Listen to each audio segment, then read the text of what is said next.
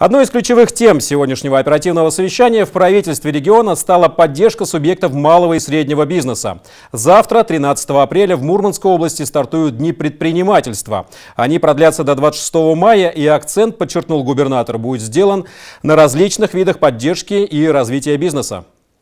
Одним из ключевых направлений в этой работе станет стартап-тур фонда Сколково. Он впервые пройдет в нашем регионе и направлен на популяризацию бизнеса в сфере инноваций. Всего же масштабная программа Дней предпринимательства включает в себя пять направлений. Приоритетной задачей для региональных властей, отметил Андрей Чибис, является адресная финансовая государственная поддержка предпринимательских инициатив на постоянной основе. Мы, напомню, объявили э, очередной отбор на губернаторский стартап. На сегодняшний день поступило 143 заявки на сумму более 120 миллионов рублей. Теперь задача комиссии – отобрать наиболее значимые проекты. Напомнил Андрей Чибис и о том, что в регионе действуют гранты на приобретение федеральной франшизы. Поддержат областные власти также молодых ученых. На каждый из 10 проектов победителей будет выделено по 400 тысяч рублей.